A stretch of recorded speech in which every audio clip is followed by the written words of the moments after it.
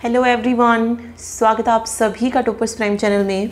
इस वीडियो में आज हम पढ़ेंगे स्टैटिक जीके का नेक्स्ट टॉपिक हरियाणा का उदय या हरियाणा का गठन आप कह सकते हैं। ठीक है इंपॉर्टेंट है टॉपिक क्योंकि यहाँ से क्वेश्चन एग्ज़ाम में ज़रूर आता है।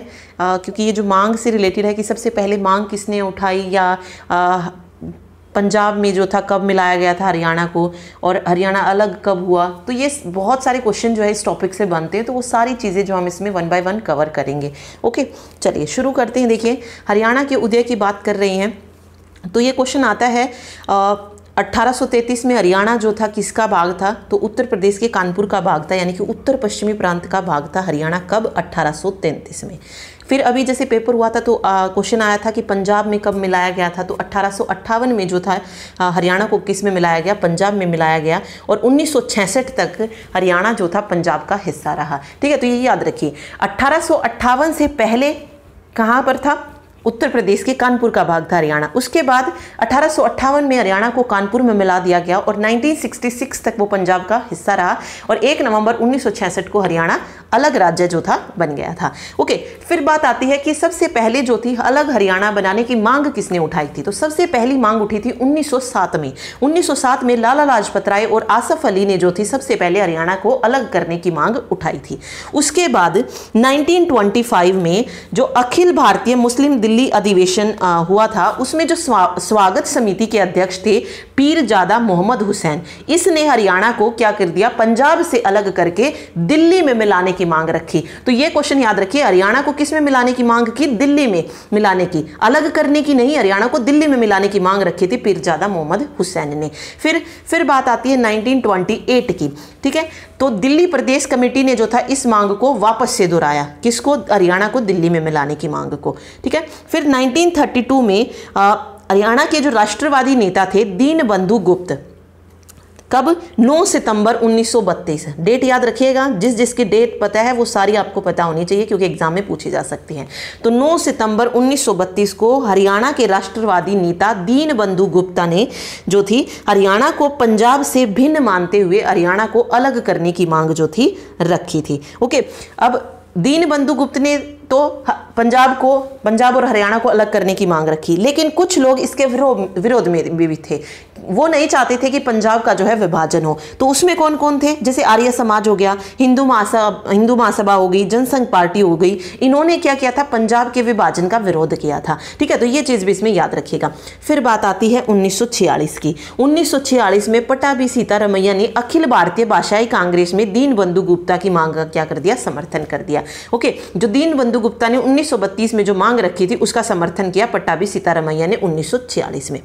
फिर बात आती है 15 अगस्त उन्नीस को जब भारत स्वतंत्र हुआ, उस वक्त भी हरियाणा जो था, किसका भाग था? पंजाब का भाग था। फिर 1948 में ठीक है, स्वतंत्रता के पश्चात सबसे पहले हरियाणा को पृथक करने की जो मांग रखी थी, वो किसने रखी थी? तारा सिंह ने रखी थी। मास्टर तारा सिंह ने रखी थी। ये इंपॉर्टेंट इसमें याद रखिएगा। ठीक है, ये जो थे पंजाबी नेता थे तारा सिंह, इन्होंने जो थी सबसे पहले स्वतंत्रता के पश्चात ये मांग उठाई थी।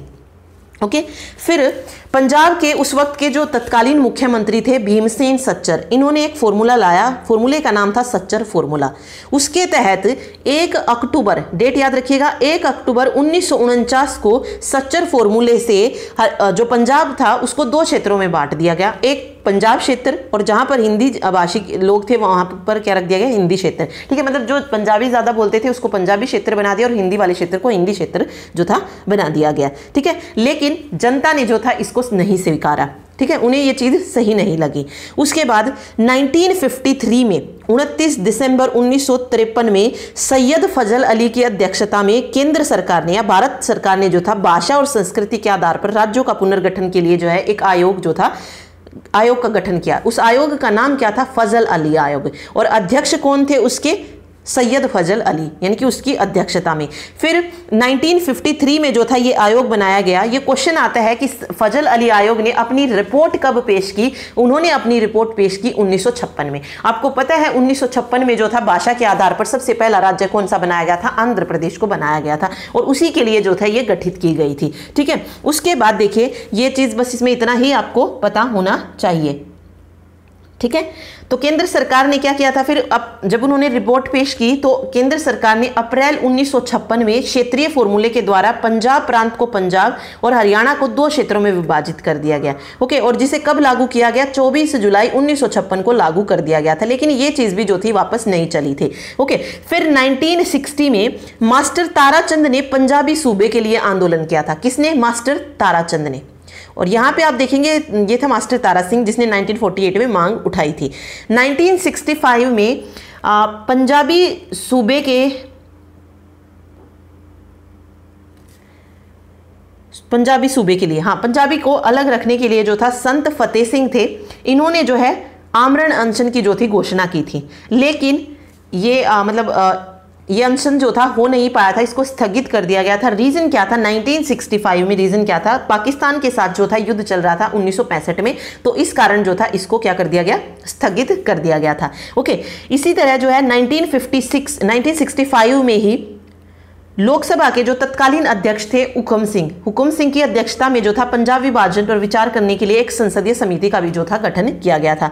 तो ये क्वेश्चन आ सकता है कि हुकम सिंह की अध्यक्षता में जो था जो संसदीय समिति का गठन किया गया पंजाब पर विचार करने के लिए, ये कब जो थी, बनाई गई थी ये समिति? तो 1965 में ही। ओके, उसके बाद देखिए, नाइन 1966 की बात आती है 23 अप्रैल 19 छसठ इसमें क्या हुआ? सरदार उकम सिंह की सिफारिश के आधार पर जो था, सरकार ने सर्वोच्च न्यायालय के न्यायाधीश थे जेसी साहा।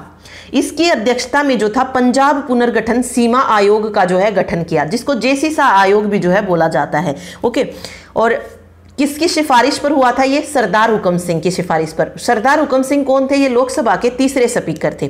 ठीक है? इन्होंने क्या किया? सीमा आयोग का जो था गठन कर दिया था। इसमें टोटल तीन सदस्य थे। एक तो जेसी शाह खुद थे, ठीक है, जो मतलब जो अध्यक्ष थे, और साथ में एम एम फिलिप और एस दत्तू। इन तीन सदस्यों मतलब इसका जो था गठन किया गया, जिसके तहत जो था, हरियाणा को फिर अलग वो था, बनाया गया था, ठीक है? और तो ये चीज़ याद रखिए 23 अप्रैल 1966 को जो था, सीमा आयोग का गठन हुआ था। और इसने जो भी अपनी रिपोर्ट थी, ये 31 मई 1966 को पेश की थी। ये पॉइंट भी इसमें आपको याद रखना है, ठीक है? इसमें देखिए क्या थी? जेसीसा आयोग में चंडीगढ़ सहित खरड़, तहसील, नारायणगढ़, इन क्षेत्रों को जो है हरियाणा में शामिल करने की जो थी सिफारिश की गई थी। ठीक है? उसके बाद देखिए पंजाब पुनर्गठन अधिवेशन आ, आता है सॉरी पंजाब पुनर्गठन विधेयक ये क्वेश्चन पूछा जा चुका है कि लोकसभा में कब पारित किया गया था। तो 18 सितंबर 1966 को जो है पंजाब पुनर्गठन विधेयक जो था ये लोकसभा में पारित किया गया। उसके बाद एक नवंबर उन्नीस सौ छियासठ को सरदार हुकम सिंह की सिफारिश पर हरियाणा राज्य का क्या हो गया? गठन हो गया। तो ये क्वेश्चन भी एग्ज़ाम में देखने को मिलता है हरियाणा राज्य का गठन किसकी सिफारिश पर हुआ था? तो सरदार हुकम सिंह की सिफारिश पर हुआ था और किस आयोग के द्वारा हुआ था? जेसी शाह आयोग के द्वारा हुआ था। ठीक है? उसके बाद जो था, एक नवंबर उन्नीस को अट्ठारहवें संशोधन के तहत हरियाणा राज्य का जो था गठन हो गया। उसके जब हरियाणा राज्य का गठन हुआ तो धर्मवीर सिंह को जो था पहला राज्यपाल बनाया गया और बी डी शर्मा को जो था पहला मुख्यमंत्री बनाया गया था। ओके तो यहाँ पे पॉइंट दिए गए हैं। देखिए, हरियाणा राज्य का गठन ये हो गया सरदार हुकुम सिंह की सिफारिश पर। गठन के समय राष्ट्रपति कौन थे? तो एस राधाकृष्णन जो थे उस वक्त राष्ट्रपति थे। और गठन जब हुआ तो हरियाणा में टोटल सात ज़िले थे। और गठन जो था, ये सत्तरवें राज्य के रूप में हुआ था। सत्तरवें राज्य के रूप में और किस संशोधन के तहत? अट्ठारहवें संशोधन के तहत हुआ था। ओके, जब गठन हुआ। उस वक्त हरियाणा के हिस्से में कितना जो है क्षेत्रफल के अकॉर्डिंग देखे तो कितना परसेंट आया था? पैंतीस पॉइंट अट्ठासी परसेंट जो बाकी बच गया, वो सारा का सारा किसमें के हिस्से में चला गया था? पंजाब के हिस्से में। ठीक है तो याद रखिए, हरियाणा का हिस्सा पैंतीस पॉइंट अट्ठासी परसेंट था गठन के समय। ओके, गठन जब हुआ, उस वक्त जो विधानसभा सीट थी, वो कितनी थी? चौंतीस सीट थी। ठीक है, नाइनटीन नहीं, एक मिनट। ओके सॉरी चौंतीस नहीं, चौवन सीटें थी। ठीक है? फिर 1967 में इक्यासी हुई और 1977 में जो थी बढ़ाकर कितनी कर दी गई थी? नब्बे कर दी गई थी। और अभी भी कितनी है? प्रेजेंट में भी नब्बे और एक जो है एंग्लो इंडियन के लिए है। ओके? चलिए। अगला देखिए। हरियाणा गठन के समय कुल सात ज़िले थे। यानी कि जब हरियाणा का गठन हुआ उस वक्त सात ज़िले थे। आ, कौन से थे सात ज़िले? एम का घर आ, सिंपल सी ट्रिक है ये तो। सभी को पता भी है ये। मैंदरगढ़ जींद करनाल गुरुग्राम रोहतक हिसार और अम्बाड़ा ये जो थे कुल सात ज़िले थे, बाकी ज़िले जो थे वो बाद में फिर बनते गए थे, ठीक है? उसके बाद देखिए, हरियाणा जो था, ये भारतीय संघ का सत्तरवां राज्य बना था। कौन सा राज्य बना था? भारतीय संघ का सत्तरवां। वर्तमान में अगर हम बात करें तो हरियाणा में जो है छः मंडल है, बाईस ज़िले हैं, तिरानवे तहसीलें और 140 खंड हैं, ठीक है? जब हरियाणा बना तो चार मंडल थे, घर ठीक है? जब हरियाणा बना था तो घर जो थे, ये चार मंडल, यानी कि गुरुग्राम, हिसार अम्बाड़ा और रोहतक, ये चार मंडल थे। दो नए मंडल कौन से बनाए गए हैं? करनाल और फरीदाबाद। ये दो नए मंडल कब बनाए गए? 21 फरवरी 2017 को जो था, दो नए मंडल और बनाए गए थे। ठीक है? फिर इनमें देखिए कौन कौन से ज़िले आते हैं, वो आपको पता होने चाहिए। तो करनाल में जो करनाल के आसपास लगते होंगे, करनाल के पास देखिए, करनाल से पहले पानीपत और करनाल के आसपास ही कैथल। तो करनाल, कैथल, पानीपत, ये एक मंडल में आ जाएँगे। फरीदाबाद में फरीदाबाद, पलवल और नू आ जाएगा। ठीक है? गुरुग्राम में देखिए गुरुग्राम, रेवाड़ी और मेंदरगढ़। हिसार में हिसार, फतेहबाद, सिरसा और जींद, अंबाड़ा में अंबाड़ा, पंचकुला, यमुनानगर और कुरुक्षेत्र, रोहतक में रोहतक, जज्जर, सोनीपत और भिवानी और दादरी। अब ये क्वेश्चन आता है। सबसे पहला तो आपने देखा भी होगा, जैसे पुलिस के एग्ज़ाम हुआ, यहाँ पे भी क्वेश्चन पूछा गया था कि किस उसमें जो है मंडल में कौन सा आता है। ओके, इस तरीके का क्वेश्चन पूछ सकते हैं। साथ ही सर्वाधिक जिलों वाला मंडल कौन सा है? तो रोहतक ज़िले में सबसे, सॉरी, रोहतक मंडल में सबसे ज़्यादा ज़िले हैं, पाँच ज़िले जो है इसके अंडर में आते हैं। ठीक है? फिर देखिए, हरियाणा की स्थापना एक नवंबर 1966 को हुई थी। हरियाणा का जो राष्ट्रीय पक्षी है, वो कौन सा है? ब्लैक फ्रैंकलिन है, यानी कि काला तितर है। राज्य के पशु कौन सा है? ब्लैक बक यानी काला हिरन। राज्य के खेल कौन सा है? हरियाणा का कुश्ती है। राज्य के वृक्ष पीपल है। राज्य के फूल कमल है और राज्य की भाषा कौन सी है? हिंदी है। ठीक है? हरियाणा जब बना तो उस वक्त का जो पहला गठित जिला था, वो कौन सा था? वो था जींद। और उस समय का सबसे छोटा जिला भी कौन सा था? गठन के समय जींद ही था और गठन के समय सबसे बड़ा जिला हिसार था। लेकिन अभी हिसार सबसे बड़ा नहीं है। अभी अगर हम देखें तो सबसे बड़ा कौन सा है? सिरसा है। हरियाणा का क्षेत्रफल कितना है? चवालीस वर्ग किलोमीटर है और ये भारत के क्षेत्रफल का एक है। अक्षांशीय विस्तार की अगर हम बात करें तो हरियाणा का अक्षांशीय विस्तार सत्ताईस उनतालीस से लेकर तीस पचहत्तर तक है और दक्षांशीय विदेशांतर की बात करें तो चौहत्तर अट्ठाईस से लेकर सतहत्तर छत्तीस तक है। ठीक है? हरियाणा का आकार पूछा जाए तो विषम बाहु चतुर्भुज या षट कोणीय पतंगाकार जो है, ये हरियाणा का आकार है। ठीक है? हरियाणा जो है देश के उत्तर पश्चिमी भाग में जो है स्थित है। हरियाणा का प्रदेश द्वार किसको कहा जाता है? बहादुरगढ़ को कहा जाता है और हरियाणा का हृदय हर्ट किसको कहा जाता है? जींद को कहा जाता है। गठन के समय राष्ट्रपति हम पहले भी पढ़ चुके थे। डॉक्टर सर्वपल्ली राधाकृष्णन थे। उपराष्ट्रपति डॉक्टर जाकिर हुसैन थे। प्रधानमंत्री उस वक्त श्रीमती इंदिरा गांधी थी और लोकसभा अध्यक्ष कौन थे? हुकुम सिंह थे। ठीक है? उन्हीं की सिफारिश पर जो था, हरियाणा का गठन हुआ था। जेसी आयोग की जो थी, उन्होंने गठन किया था, सीमा आयोग का। ठीक है शाह की अध्यक्षता में।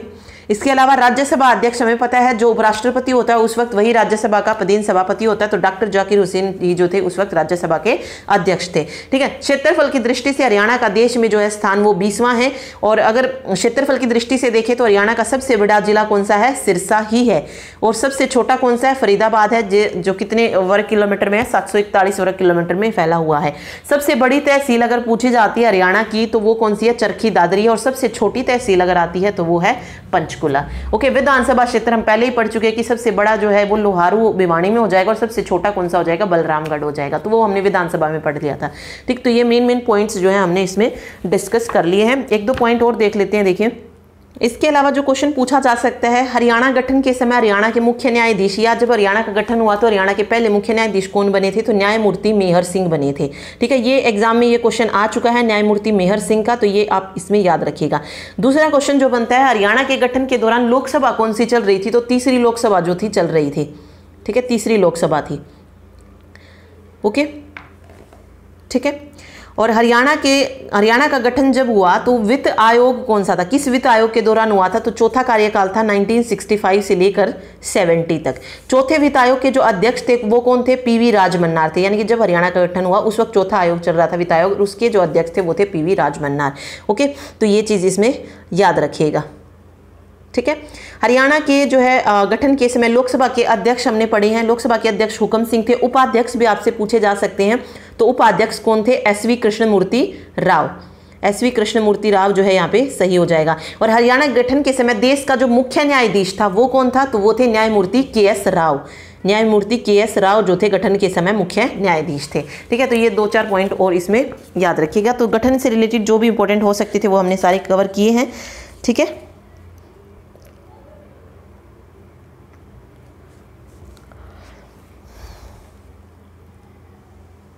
Okay okay? और अब अब मैं, वो मैंने आपको बताई दिया कि कौन कौन से क्वेश्चन जो है यहाँ से पूछे जाते हैं बार बार जैसे आपसे पूछा जा सकता है कि सबसे पहले अलग हरियाणा की मांग कब उठी थी? तो 1907 में उठी थी, ठीक है? और आज़ादी के बाद सबसे पहले हरियाणा की मांग कब उठी थी? तो 1948 में किसने उठाई थी? पंजाबी नेता तारा सिंह ने।